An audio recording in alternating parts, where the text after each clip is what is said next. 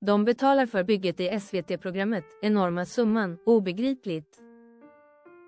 I SVTs nya satsning Hjälp, jag har köpt ett franskt ruckel får tittaren följa Brita Zackaris arbete med ett drömhus i Frankrike.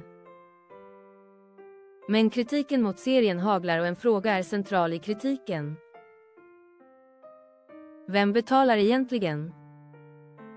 Svenskarna har i fyra år fått följa Brita Zackari, 42, och Kalle Zackari Wahlström, 43, renovera sitt sörmländska drömhus i SVTs hjälp, vi har köpt en bondgård.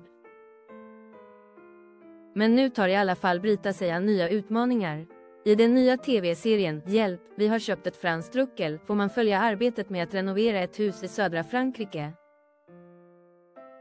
Men att renovera ett franskt ruckel är eller mindre än ångt ifrån enkelt och Brita står inför en helt ny rad av utmaningar.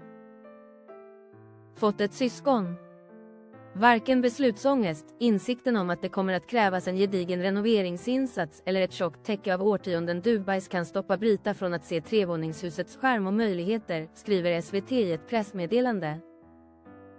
Elton Johns dödsbesked, vet inte hur mycket tid jag har kvar.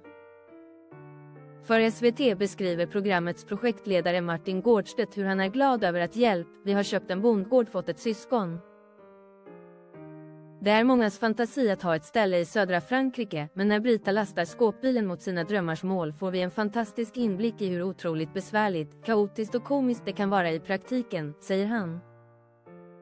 I seriens inledning säger Brita själv tydligt att hon köpte huset efter att hon fick ett mindre arv och insåg vad det kunde räcka till i Frankrike. SVTs svar på kritiken, kanalen betalar inget. Men trots det har programmet fått kritik i sociala medier och många ifrågasätter vem som egentligen betalar för inköpet och renoveringen av huset. Obegripligt att vi finansierar detta via vår skattsedel, skriver en person i en kommentar på Facebook. Är det alltså vi skattebetalare som fortsätter betala deras drömmar? Känns som att det är lite too much. Obs detta är ingen kritik till Kalle och Brita som personer, skriver en annan. Nyheter 24 har varit i kontakt med SVT som dementerar att de ska ha stått för kostnaderna som rör huset och renoveringen. SVT följer dokumentärt de projekt Kalle och Brita väljer att göra. SVT står inte för några kostnader för inköp och renovering, skriver projektledaren Martin Wårdstedt till Nyheter 24.